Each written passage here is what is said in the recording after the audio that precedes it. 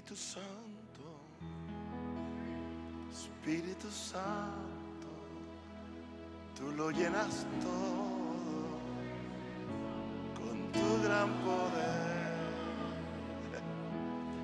Espíritu Santo, Espíritu Santo, tú lo llenas todo con tu gran poder. Envía la lluvia, envía el fuego, envía el aceite de tu santa unción.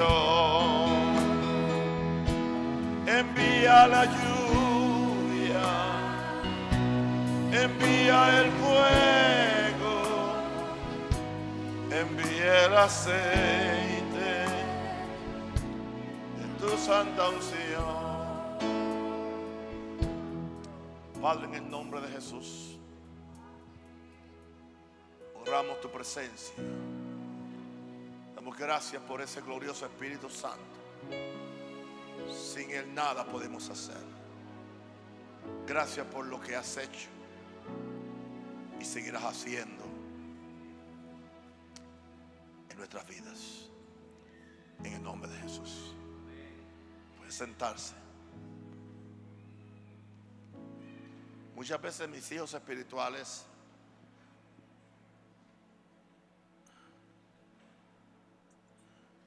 dicen, ¿cómo yo voy a predicar después que usted predica?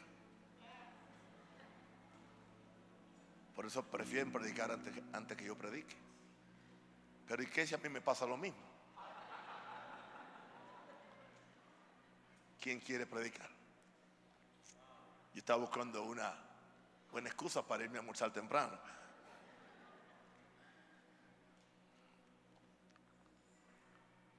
Pero hay una desventaja que yo tengo. Y es que Pastor Joel dice que estaba orando anoche y cuando vamos hacia desayunar me dice, papá durmió. Yo dije, bueno, lo que vale.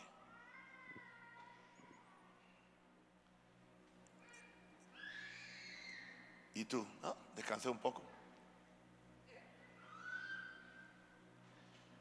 Y después me dice, esta mañana usted vino a mi cuarto.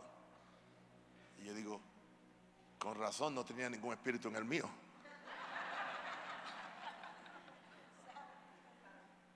¿Y cuál es el problema? Que si 400, 500 pastores están haciendo eso, ¿con qué yo me quedo? Porque Moisés tenía suficiente espíritu para 70, pero yo no, yo no creo que yo le llego a 10. Y yo le dije, con razón yo me siento a veces tan débil. Ustedes están hablando por todos lados. Lo que presiento es que esta mañana Joel se, lo- llevó todo. Bueno, yo no puedo ir- ir- irme de México sin predicarle un mensaje de fe.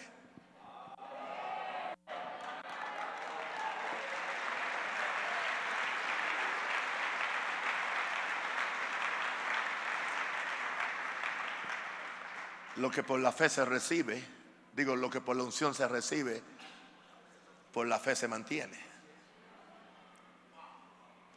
Gloria a Dios por todo lo que Dios ha hecho y lo que va a seguir haciendo. Agarrados de la promesa y esperando lo que no vemos. ¿Y qué relación tiene que eso que ver con el Espíritu Santo? Muchísimo. Porque Él es el iniciador, el sostenedor y aún el consumador de todas estas cosas. Hebreos 6, 10 al 12 dice, porque Dios no es injusto para olvidar vuestra obra y el trabajo de amor. Esto indica entonces que tú y yo tenemos que hacer alguna obra y un trabajo y no hacerlo a regañadientes, dice en amor. Y Dios no olvida eso. Así que lo que estamos haciendo aquí, si usted vino, si usted ha contribuido en alguna forma, si usted ha dado una ofrenda, un diezmo, eso se cataloga como una obra y un trabajo de amor. Y dice que habéis mostrado hacia su nombre. Es hacia su nombre. O sea, no es el nombre de ninguno de nosotros. Con el propósito de servir a los santos. Esto cambia totalmente la motivación ministerial. No es para yo verme bien o para yo brillar, es para servir a los santos, que son ustedes, y sirviéndoles aún. Y en esta tarea no podemos ser flojos, ni, ni mirar hacia atrás, pero deseamos que cada uno de vosotros, no solamente los pastores, muestre la misma solicitud. Solicitud es responsabilidad para hacer algo. En cierta forma que tú solicitas hacerlo, aunque no te tocaba hacerlo. Por eso es solicitud. Debe haber una solicitud para orar, para hacer lo que otro no quiere hacer.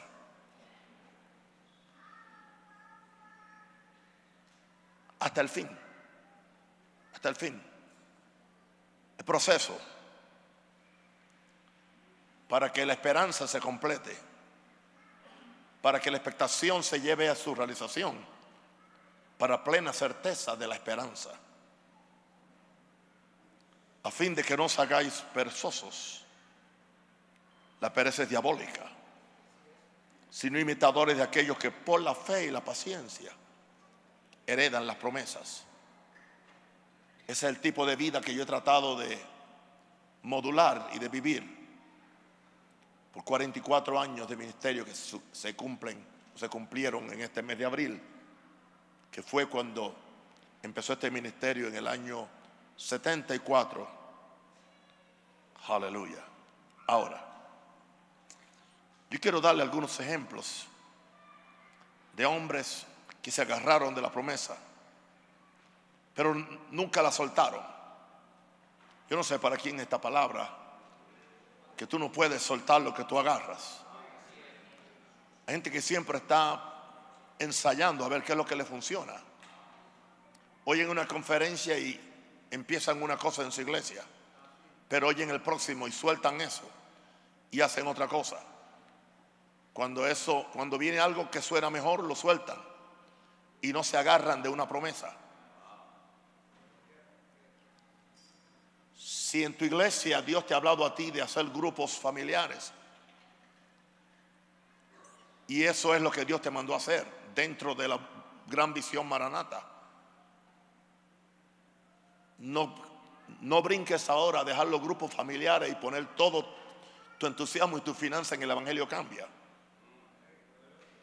Porque lo que Dios te está diciendo a ti es que tú te ejecutes en esa visión que Dios te está dando. Si Dios te da que la visión es en el Evangelio cambia, que es lo que tú quieres enfatizar, porque es lo que sientes que es lo que Dios quiere.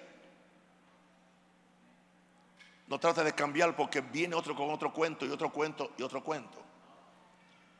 Y hoy los pastores se, pasan todo el tiempo ensayando a ver qué funciona. En vez de buscar a Dios para que Dios le diga lo que van a hacer. Y cuando Dios me dice que yo haga algo, aunque en el momento no funcione, Dios me lo dijo. Y Él es responsable de llevarlo a su cumplimiento eventualmente. Pero para esto se va a requerir fe, paciencia, agarrarnos de la promesa y aún seguir esperando aún lo que no vemos. Porque todo esto tiene que ver con cosas invisibles, cosas improbables, cosas increíbles muchas veces. Tengamos como ejemplo a Abraham. La fe que cree la palabra de Dios.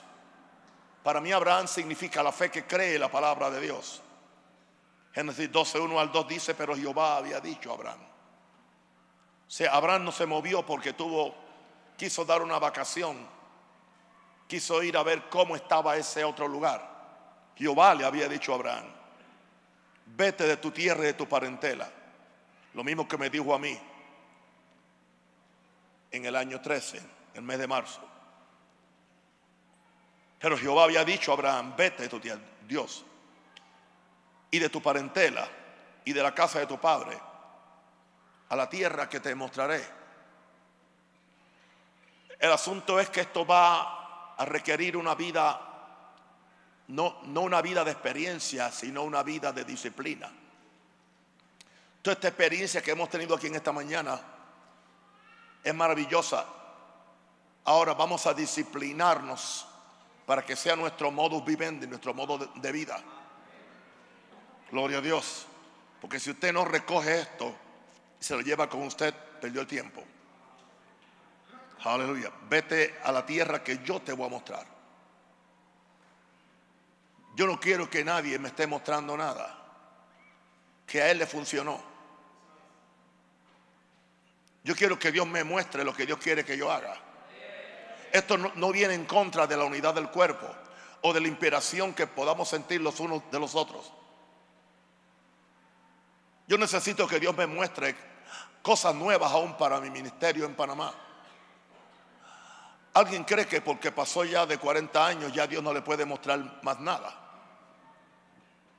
Y se quedan simplemente en lo que Dios le mostró hace 20 años atrás. 20 años atrás era para 20 años atrás. Para los próximos 20 años sería bueno que Dios te mostrara otra cosa. Y si tú lo buscas, Dios te lo va a mostrar. Porque si se lo mostró a un hombre que no lo estaba buscando, si se lo mostró a un hombre que no era salvo, que era un idólatra, que era un pagano, ¿no crees que Dios te lo va a mostrar a ti cuando Dios tiene un interés invertido en ti? Tienes que salir de, algo para entrar en otra cosa. Y aquí no pueden haber sentimentalismos. Así que a mí nadie me puede decir yo no puedo dejar mi familia, porque yo la dejé toda. A mí nadie puede decirme yo no puedo dejar lo que yo edifiqué por 38 años, porque yo lo dejé todo. A mí nadie no puede decirme yo no puedo dejar mis inversiones. ¿Quién las va a cuidar? Porque yo las dejé todas. Algunas las rematé. Perdí quizás millones de dólares. Hoy no tengo ningunos. Así mismo. Porque Dios me da una, otra tierra donde Dios me va a bendecir. Interesante que Dios le dice a este hombre, voy a hacer de ti una nación grande, pero no si te quedas en el lugar que tú quieres estar. Y no solamente eso, te voy a bendecir. Tu nombre va a ser engrandecido por buena fama o por mala fama. Pero hay una condición para todo esto. Tú serás bendición. Si no somos bendición en lo que estamos haciendo, hemos perdido el tiempo. Yo he sido bendición para ustedes. Sigo siendo bendición para ustedes. Y quiero que ustedes dupliquen este asunto, este legado. Hablemos de legado que la gente vea. Que cuando la gente vaya a su iglesia, usted huela maranata, no otra cosa. No que usted predique o hable como en un rosario, sino que la, la gente perciban que tiene el mismo espíritu, que tiene la misma visión de humildad, de sencillez, de fe, de búsqueda, pero a la vez de ser un guerrero forzado y valiente que no se rinde a nada ni a nadie. Y aquí un hombre que creyó la palabra de Dios. La promesa era ser una nación grande, no una nación pequeña. Dios le da una visión. Pues cuando él vio que pasaba el tiempo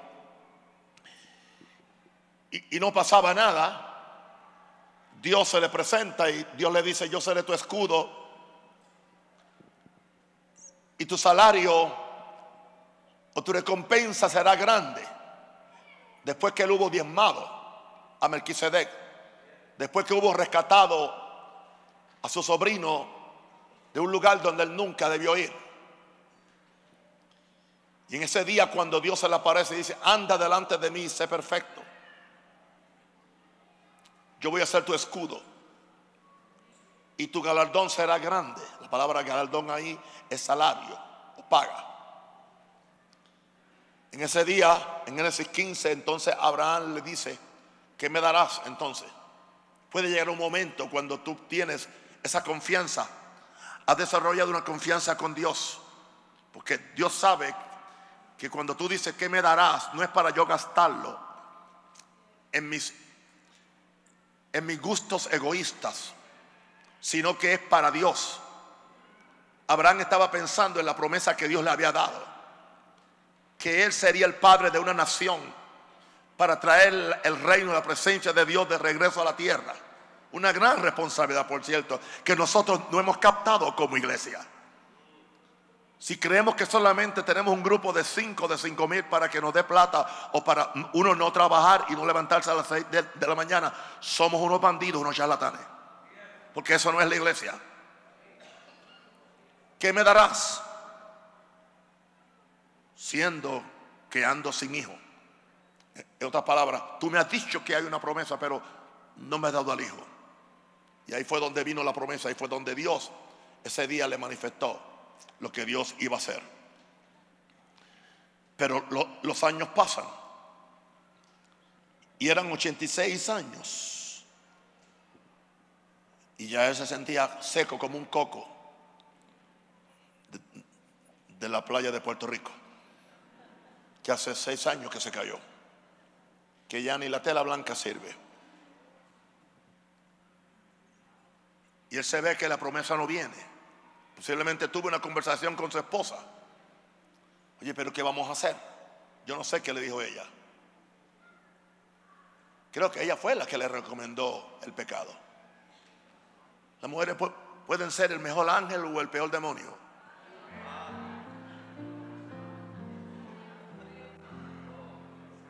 Y el hombre de Dios tiene que discernir cuándo está hablando el ángel y cuándo está hablando el demonio. Eso no es una expresión sexista, es una realidad. Porque le dijo, bueno, ahí está mi sierva. Y parece que a Abraham no le desagradó la idea. De todas formas, llégate a ella, que quede encinta y para que se me cuente como que es hijo nuestro. Cuando ella vaya a dar a luz, ella va, a dar a luz sobre mis rodillas. De forma que en el momento que el niño salga es como si saliera también de las mías. Y en esa forma tú vas a tener el método para cumplir la promesa. Quiero decirle algo. Siempre Satanás traerá una oferta al que menos tiene y al que más tiene. Que, quiero que entiendas esto, y estoy hablando hoy fríamente, que todo el fuego se lo llevó mi hijo espiritual. Porque yo tengo que hablar fríamente. Vienen las ofertas. Todo esto te daré si postrado que me adorares. ¿Cuántas ofertas se le han hecho a uno para que uno cambie el mensaje? Para que uno cambie el énfasis, para que uno cambie esta gloria por la gloria de los hombres, para que uno tenga acceso a los grandes púlpitos o a los grandes congresos. Trató de ayudar a Dios y metió las patas, pero aún así Dios lo perdonó. Y a los 99 años le cambia el nombre en preparación para el cumplimiento, Génesis 17, 1 al 7. Ya no, no te llamará más Abraham, sino Abraham Padre exaltado, pero ahora va a ser padre de una multitud. Aleluya. Le cambia el nombre a Sara, serás una, una madre de reinas. 99 años. Y a los 99 años, estando casi muerto, se encontró con Dios. Se encontró con el Dios que da vida a los muertos y llama las cosas que no son como si fuesen. Hasta tanto él se había encontrado con las promesas de Dios. A los 99 años se encontró con el Dios que le dio la promesa. Cramando Kashiha Masaya. Muchos de nosotros estamos caminando aún con la promesa. Y la promesa es verdadera y la promesa es cierta. Y la promesa es fiel y la promesa es gloriosa. Y la promesa tiene gran poder y la promesa tiene fe. Pero hay una diferencia. Cuando aún creyendo la promesa llegamos al fin de nosotros mismos creemos que no podemos, creemos que, que, no damos la medida, que se pasan los años. pero ah, estamos agarrados de la promesa y no soltamos la promesa. Y como Dios sabe que no soltamos la promesa de Dios, y cuando sabe que ya no podemos, y le confesamos, Señor, estoy como muerto. Y yo sé que Abraham se lo confesó a Dios. Oh Señor, 99 años, tu promesa, yo estoy muerto, mi esposa es estéril, ¿qué tú vas a hacer? Bueno, Dios dijo, ahora va a venir el Dios de la promesa. Dice que Abraham creyó delante de Dios. La palabra delante es en la presencia de Dios, indicando eso, que Dios se hizo presente ese día. Y cuando Dios se hizo presente en ese día, el muerto Abraham resucitó. Todo su funcionamiento, aleluya, de su cuerpo se renovó. Tuvo una renovación completa, completa. Toda su virilidad le regresó como si fuera un muchacho de 18 años.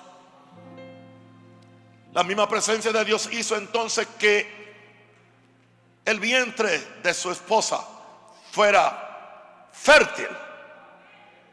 Porque entonces se encontró con el Dios que da vida a los muertos. Y era él. Y llama a las cosas que no son como si fuesen. Que era su esposa. Donde a los nueve meses salió el hijo de, de la promesa. El hijo de la promesa tuyo va a salir cuando tú te encuentras con el Dios de la promesa. Hay un peligro cuando hacemos un ídolo de, la promesa. Y se nos olvida que más importante que la promesa es el Dios que la promesa. Yo, yo no hice la promesa y yo no puedo cumplirla. Pero yo puedo agarrarme de la promesa con Dios. Hasta que llega un día que hay un encuentro. Diga encuentro. Hay un momento profético. Sí, hay un momento profético. A veces puede ser en un culto. A veces puede ser en un ayuno. Puede ser en una noche de una visión que Dios tenga. Eso lo determina Dios. Pero este hombre agarró, se agarró de la promesa y siguió esperando lo que no vio hasta que un día lo vio. Número dos, Jacob, persiguiendo la bendición a todo costo. En Génesis 27, 29, 27 29. Para que usted vea qué tipo de bendición se le dio el día que salió huyendo. La mejor profecía se le dio para que él huyera. ¿Alguien cree que le dan una profecía y la cosa se va a cumplir en 24 horas? Y la gente se frustra y ya deja de creer en profecía o en los profetas. Jacob se acercó donde su padre y le besó. Y, olió Isaac el olor de sus vestidos y le bendijo. Génesis 27. Diciendo, mire el olor de mi hijo como el olor del campo que Jehová ha bendecido. Y aquí viene entonces su futuro profético. Jehová te dé rocío del cielo, de las grosuras de la tierra y abundancia de trigo y de mosto. Sirvante pueblos y naciones se inclinen a ti. Sé Señor de tus hermanos. Sé Señor de tus hermanos. Y se inclinen ante ti los hijos de tu madre. Malditos los que te maldijeren. Y benditos los que te bendijeren en un término de 24 horas, no más. ¿Sabe de quién estaba huyendo él? Alguien dígame, ayúdame. ¿De quién estaba huyendo Jacob? De su hermano. ¿Y qué pasó con la profecía que va a ser Señor de tu hermano? Y tu hermano ahora te, te quiere matar. ¿Y qué pasó que los hijos de tu madre se inclinen ante ti y el hijo de tu madre te quiere matar. Y ahora por consejo de tu madre tienes que salir corriendo con una mochila a una tierra que no conoces donde tienes un familiar. Y parece que el, en vez de estar bendecido, estás maldito. Estás huyendo, estás pobre. Tienes que dejar la casa de tu padre y de tu madre con la posibilidad de nunca volver a verlos. Irte solo por un desierto, exponerte a, a las fieras, a los muchos ladrones que habían en, en esos tiempos. Pero la profecía era, vas a ser bendito. Parecía que el bendito fue el que se quedó en la casa. y que el maldito era el que le dijeron que era bendito. ¿Cuántas, veces tú, tú te has sentido así? Tú no te, has no te has comparado con otros hermanos tuyos en el apostolado, o en el ministerio, o en el pastorado. La promesa está sobre ti. Eres un hombre o mujer de integridad. Y tú ves cómo estos canallas prosperan. Con las mentiras, con los adulterios, con los homosexualismos secretos. Y tú dices, ¿qué pasa conmigo? Bueno, ¿qué pasa contigo? Que tienes que creer lo que Dios dijo ya. Yo no te lo voy a presentar nice. Azuquita, azuquita, nada. Esto es, esto no es fácil.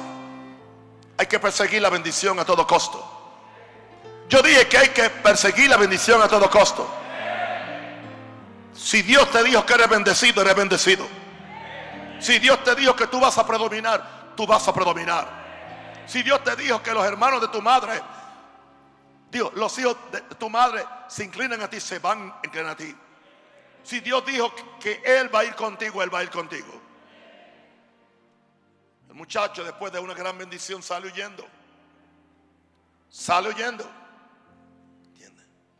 Después que Dios lo bendice, le da la promesa. Ahora es un fugitivo. Un fugitivo. Y allá se encuentra en un lugar que por primera, vez se llamó Betel. Era, era un lugar inhóspito, era un lugar peligroso, era un lugar de sueño, era un lugar para alguien fracasado. Pero la aparición de Dios lo cambió en casa de Dios. La casa de Dios tuya puede ser en el, lugar más difícil. En la situación más endemoniada. En la peor pobreza. En la peor miseria. Aun cuando estás huyendo. Cuando él se acostó.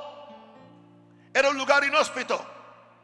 Era un lugar de hambre, de miedo, de temor. Con una piedra de cabecera. Pero algo sucedió esa noche. El cielo no se olvida de la promesa que el mismo cielo envió.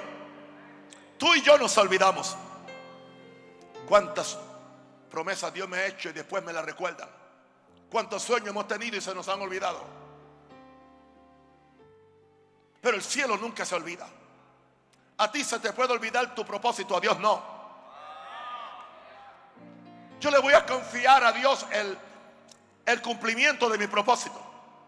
Eso no indica que no voy a, que no voy a ser activo o proactivo en lo que Dios me mandó a hacer. Pero ¿qué diferencia hace que el cielo se abra? Y en esa noche soñó y el cielo se abrió. Y vio ángeles de Dios, una escalera que había entre el cielo y la tierra. Y ángeles de Dios que descendían y ascendían sobre él. Y esa noche vino la voz de Dios. Vino la voz de Dios y le aseguró que era bendito. No solamente eso, le aseguró, no te voy a dejar. Estaré contigo en los momentos más difíciles. La promesa más grande de la Biblia, estoy contigo. Y no te voy a dejar hasta que haya cumplido en ti todo lo que te he prometido, todo lo que tu papá te profetizó, todo lo que tu papá, que no solamente fue tu padre biológico, se convirtió en tu padre espiritual. Se va a cumplir y no te voy a dejar. Y esa mañana él tuvo la revelación que de un cambio. Cargaba una pequeña botella de aceite, posiblemente para su necesidad o algo. ¿Y sabe lo que hizo con la botella de aceite? Quizás lo único que tenía de valor. Sacó la botella de aceite, le echó sobre la, sobre la piedra y dijo, esta es casa de Dios y puerta del cielo. Desde aquel momento se llamó Betel, casa de Dios, que es donde él tuvo el encuentro con Dios. Y un lugar que después fue muy significativo en el peregrinaje de este muchacho. Pues donde Dios está es casa de Dios. No necesariamente una convocación. Tu lugar con Dios. Aleluya. Te digo, bueno, pues si Dios me bendijo, lo próximo que viene es ya. No. Él tuvo que pasar por toda la faena fue allá, se encontró con el hermano de su mamá, Labán. El hombre era el padre de las trampas. Era un experto, era un, un experto tracalero. Yo no dije que era mexicano, ok. Ni panameño menos. Y ella se encuentra que lo engañaron. Lo engañaron. Lo engañaron. Le dieron, le, dieron la mujer por la cual él no trabajó. Aleluya. Le dieron la mujer por la cual él no trabajó. Y después para darle la otra, le pidieron que trabajara siete años más. Y después que trabajó por las dos y, por todo, le querían quitar todo lo, que tenía. 20 años. Tanto así que el capital, la empresa ganadera de su, de su suegro aumentó posiblemente un 100%. Pero que a, la misma vez Dios seguía bendiciendo al muchacho de las promesas. Y esto hizo que aún su familiar se en- endemoniara contra él. Y un día Dios se le apareció en sueños el ángel. Y le dice, yo he visto lo que te está pasando. ¿Y sabe lo que Dios le dice? Yo soy el Dios de Betel. Aleluya. Yo soy el Dios de Betel. Aleluya. Vi una foto que me mandaron de yo bautizando un indio en, en Coachocaticla. Si lo dije mal, ni usted lo dice bien, así que tranquilo. Aleluya. Dios estaba conmigo en ese bautismo. Cuando estaba metiendo al, al indio en el charco. Flaquito yo estaba. Y bonito también. Oh, yes. Pues ese sigue siendo el Dios mío. El Dios mío que fue conmigo cuando iba en un volky. Aleluya. El primer volky que me, que me montaron aquí era un volky que tenía un, un, un, un- galón plástico adentro del volky donde tenía una manguerita para que el carro caminara. No tenía tanque. Y me ese el olor a gasolina. Y en ese volky no sé cuánto fuimos. Y creo que fuimos en ese, en ese carro hasta Tamazunchale. ¿Usted cree que yo siempre he estado en, el Holiday Inn? ¿Ah? ¿O en el Hard Rock Hotel como usted ahora? No. Yo he estado en, en los peores lugares. Yo he caminado en carro por 13 horas. Yo no quería ir en el carro y tenía que estar acostado en la rabailla. 12 horas para llevar a Jesús. Y yo fiel a Dios. Yo soy el Dios de Betel. Yo soy el Dios de Betel. Yo te hice una promesa. ¿Te acuerdas cuando, te acuerdas cuando yo te dije que si tú, si tú me diezmabas siempre iba a ser bendecido? Y como él diezmó, él no le diezmó al suegro, no. ¿Sabe lo que él hizo? El diezmo de él fue sacrificar cada, de cada, de cada diez ovejas, sacrificaba una a Dios. Ese era el diezmo a Dios. Por eso Dios lo bendijo. Y lo estuvo haciendo 20 años. Y en 20 años Dios no, Dios no se le apareció.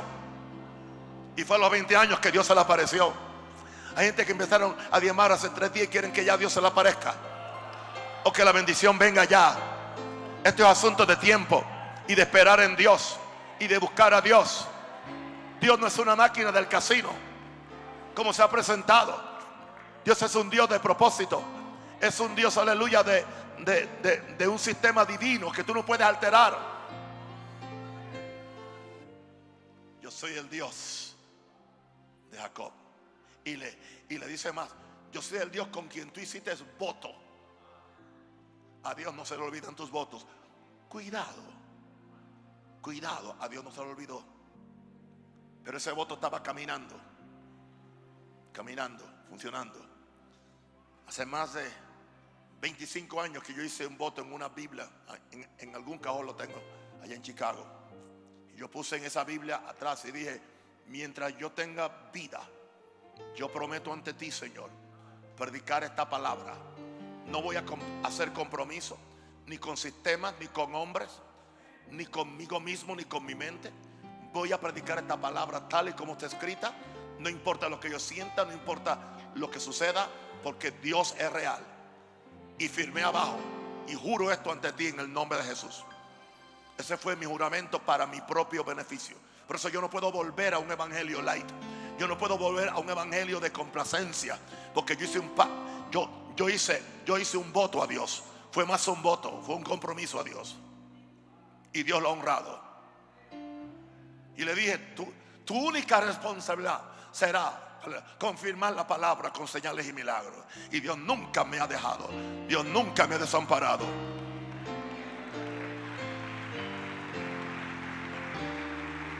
Pero yo he sabido agarrarme de la promesa y seguir mirando y esperando lo invisible. Wow. Aquí vemos el proceso de formación para eventualmente ver la promesa. Y después en Génesis 35 llega al mismo lugar donde Dios le hizo la promesa en otra condición muy diferente. Ahora era un príncipe, ahora era un gran empresario, era un, era un millonario ahora. Miles de ovejas, miles de ganados. Ahora estaba tan rico que tenía dos mujeres. No sé si es de riqueza. Hijos, fama. No solamente eso, el temor de Dios que estaba en él cayó sobre su hermano, que lo venía a matar y terminó besándolo. Y terminó ayudándolo. Porque eso es lo que Dios hace. Lo que, lo que hace 20 años que te querían matar. Cuando vean la gloria de Dios en ti. Vean lo que Dios está haciendo en ti. Vean la prosperidad que Dios te da. No es que vienen simplemente porque te aman. Es que vienen por lo que tú tienes. Pero aún así van a venir por lo tanto, yo creo que es el tiempo que algunas de nuestras iglesias exploten a miles de personas. ¿Por qué no? ¿No cree usted que pueden explotar? No vamos a glorificar la iglesia pequeña. Empieza pequeña, no se debe quedar pequeña.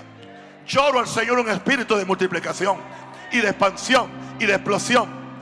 Para que vean la bendición de Dios sobre los príncipes de Dios que somos nosotros. Somos hijos de Dios. Alguien déle un aplauso a Dios.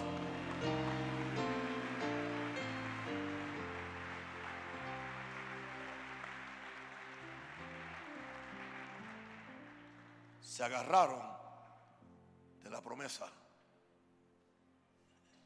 y esperaron para ver lo invisible. Josué, el sueño que nunca muere. Génesis 37, 3 al 11. Llamaba Israel a José más que a todos sus hijos, porque lo había tenido en su vejez. Y le hizo una túnica de diversos colores. Y viendo sus hermanos que su padre lo amaba más que a todos sus hermanos, le aborrecían y no podían hablarle pacíficamente. Santo el Señor. Seguimos leyendo. Y soñó José un sueño y lo contó a sus hermanos. Llegaron a aborrecerle más todavía.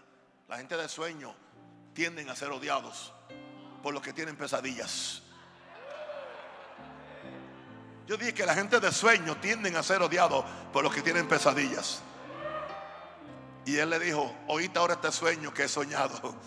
Que el muchacho era ignorante, impulsivo. Y aquí estábamos manojos en medio del campo y aquí mi, manojo se, levantaba y estaba derecho y vuestros manojos estaban alrededor y se inclinaban al mío. Imagínense eso. Él era el menor, el mocoso de la casa. Le respondieron sus hermanos, reinarás tú sobre nosotros o señoreará sobre nosotros. Y le aborrecieron aún más. ¿Sabe cuántas veces ya lo llevan aborreciendo aquí? A causa de sus sueños y de sus palabras. Vamos a ver qué dice ahora. Soñó un otro sueño y lo contó a sus hermanos diciendo, aquí que he soñado otro sueño. Y aquí que el sol y la luna y las estrellas se inclinaban a mí. Wow. Y lo contó a su padre, atrevido, a sus hermanos. Y su padre reprendió y dijo, ¿qué? ¿Qué sueño es este que soñaste? ¿Acaso vendremos yo y tu madre y tus hermanos a postrarnos en tierra ante ti? No. Y sus hermanos le tenían envidia. Diga, envidia. Mas su padre meditaba en esto. ¿Por qué?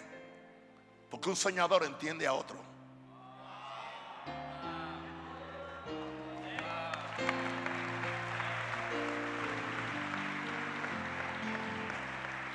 Un soñador entiende a otro.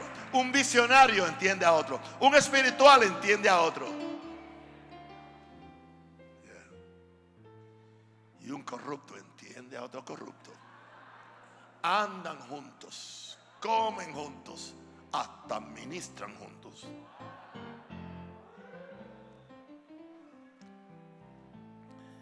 Dios le dio a este muchacho un sueño que él nunca buscó. Él no lo buscó.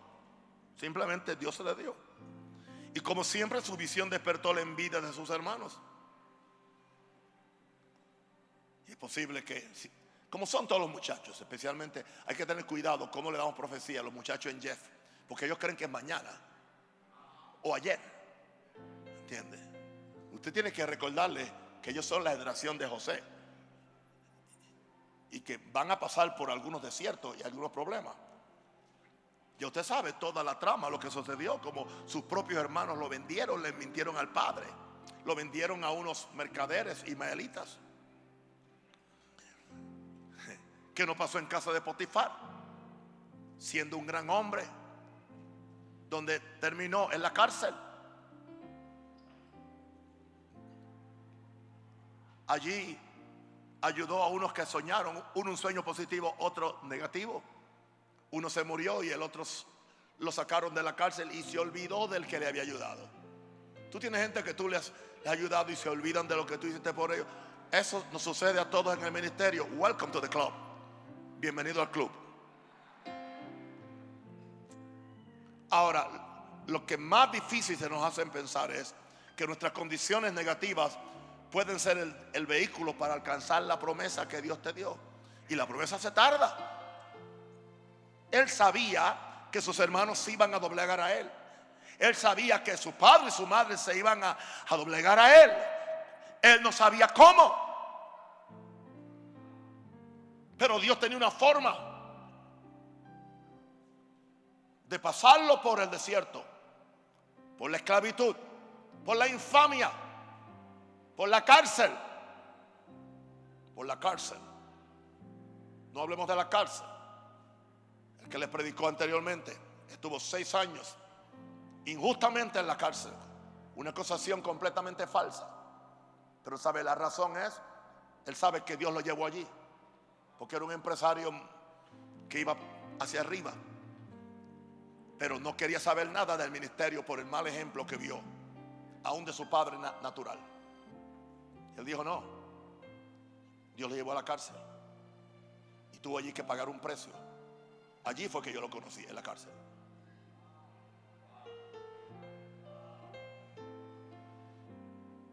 No maldigas tus condiciones negativas, que a veces son el vehículo de Dios para que tú alcances la promesa. ¿Y sabe qué tiempo le, le tomó a él? 30 años para que se cumpliera la promesa. En todos los casos que le he dado, ha habido un lapso. Un lapso. Se tomó 20 años para ver el sueño cumplido en su totalidad cuando está sentado donde? A la mano derecha de Faraón. Y cuando vienen sus hermanos, se inclinan. Y después fue responsable de la supervivencia donde su padre y su madre tuvieron que también inclinarse hacia él como el segundo en Egipto. ¿Qué hizo este muchacho? Y no perdió su integridad, no perdió su santidad, no se dejó embobar por la mujer de Potifar.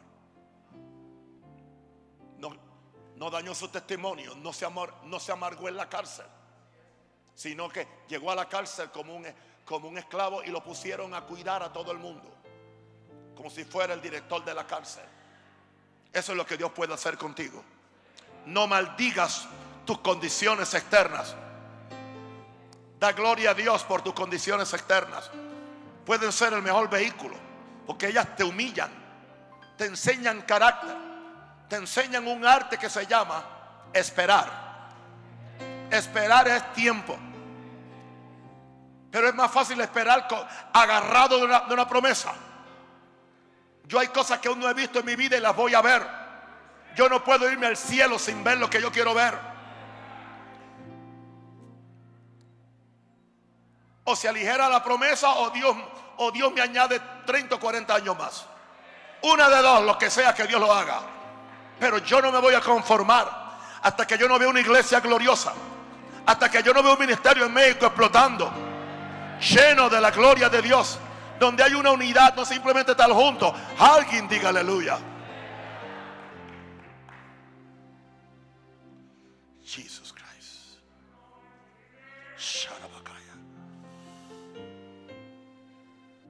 Y hay otro, y voy a ser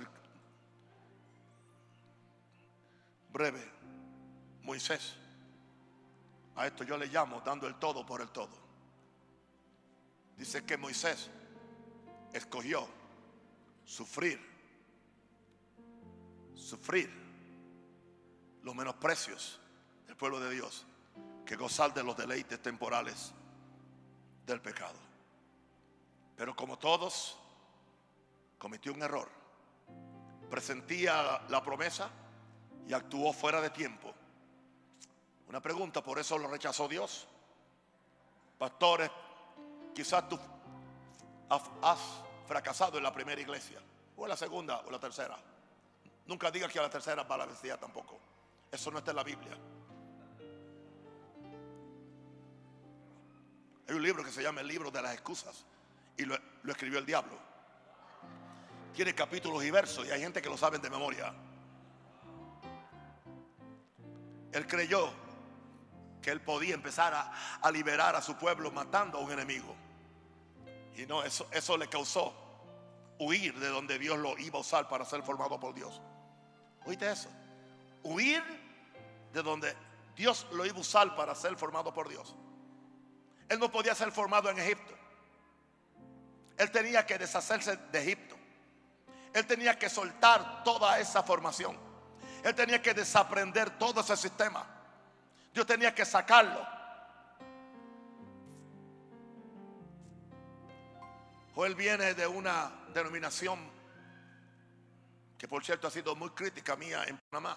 Dios tenía que sacarlo de ese lugar para desintoxicarlo del denominacionalismo, de la religiosidad.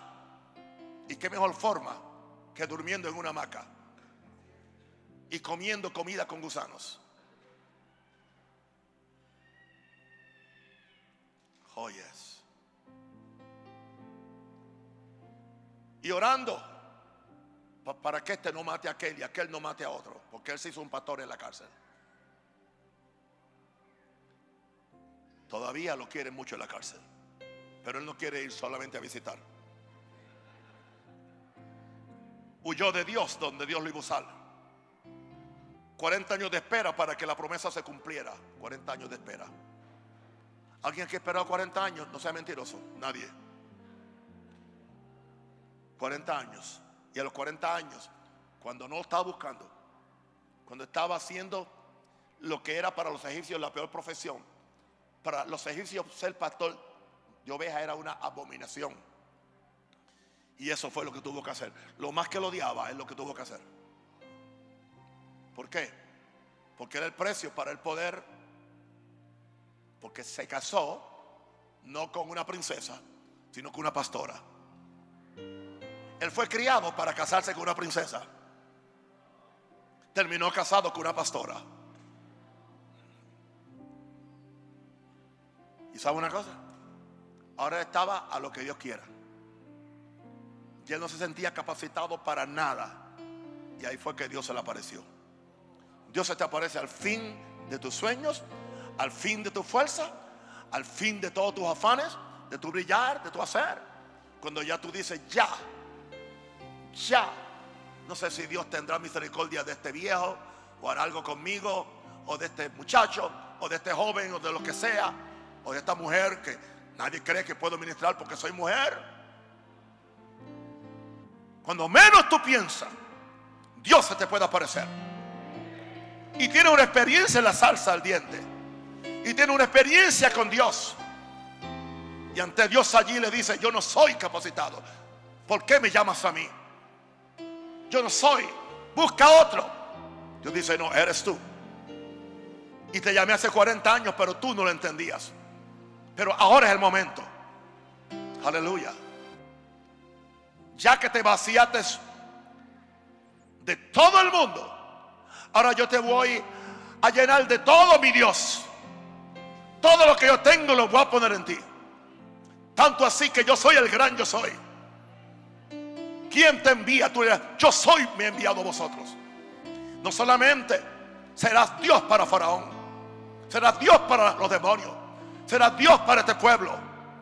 Porque yo voy a cumplir lo que te había prometido. Este es el momento. Porque, aunque tú ni pensabas que estabas agarrado de la promesa, pero estabas agarrado por el pacto que hice con tus padres, que yo levantaría un libertador. Y tú eres ese libertador. Y tú calificas porque tú no puedes hacerlo. Y tú calificas porque tú no sabes hacerlo. Y tú calificas porque no tienes los recursos para hacerlo. Y tú calificas porque yo voy a estar dentro de ti. Así que prepárate para cosas grandes. Dale un aplauso al Señor.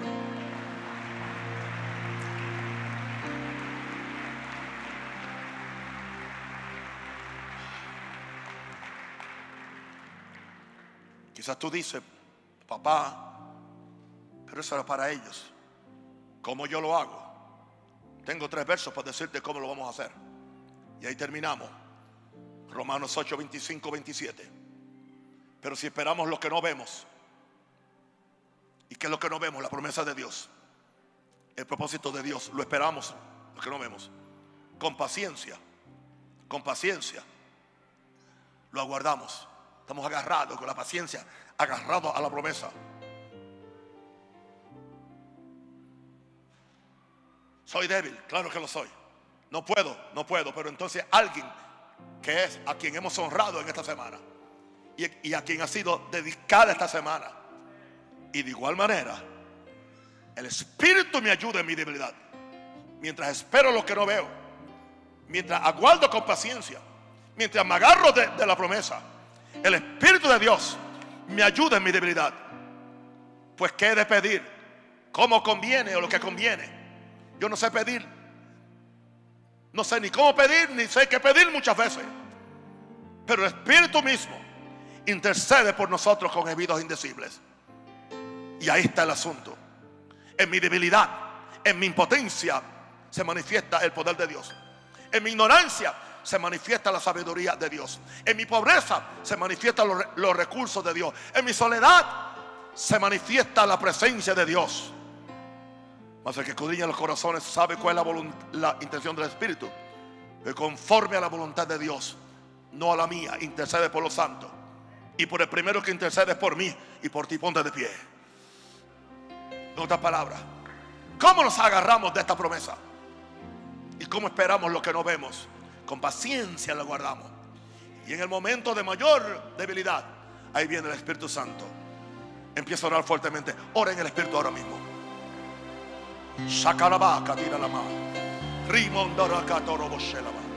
Padre, gracias. Desempolva la visión. Desempolva el propósito. Dios va a hacer grandes cosas. En México no se han levantado las mega iglesias maranatas que se van a levantar. Vienen de camino están en el corazón de muchos de ustedes. No permita que ningún problema les impida. No permita que experiencias pasadas, aunque tú tuviste culpa o no tuviste culpa, eso no importa. Dios es fiel a su promesa. Agárrate de la promesa. Vas a ser multiplicado a la izquierda, a la derecha. La gloria postrera de este ministerio será mayor que al principio. Lo que Dios va a hacer es muy grande para meterlo en un cajón Dios se va a glorificar. Toda la gloria sea para Dios. Dale un aplauso fuerte al Señor.